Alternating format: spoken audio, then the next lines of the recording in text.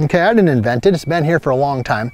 And it's a towel drill. So we're basically just gonna take the towel and we're gonna kind of tuck it underneath each one of our arms. Okay, this would be the this would be the um, the maximum connected. Okay, maximum connected. It's underneath each one of my arms. And when you do this drill, just use a wedge. Don't use a long club. And what you're gonna do is just make some swings and keep that towel underneath your arm. See that?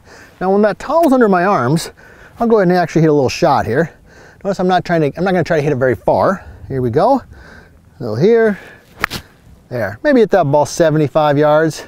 Good, let's hit another one. And what I want you to watch is notice how my arms, because of the towel in here, they're forced to work with my body. Here we go. There it is, good.